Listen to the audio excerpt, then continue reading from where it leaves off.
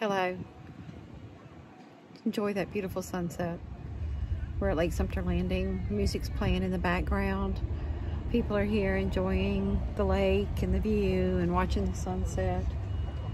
Um, it's pretty much fallen over there behind the trees, but uh, beautiful skies. We have some of the most beautiful skies here. Um, and and rainbows. I've seen the most gorgeous rainbows since I've moved here my, that I've ever seen in my entire life. Um, there's uh, Lake Sumter Landing. I think you can see some of that. That's the hotel over there in the background. The one over here at Lake Sumter Landing anyway. And um, just wanted to give you a glimpse of uh, how we get to enjoy our evenings.